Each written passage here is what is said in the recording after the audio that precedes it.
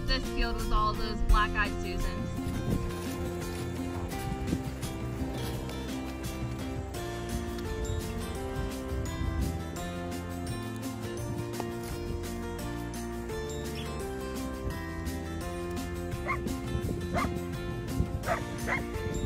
Oh!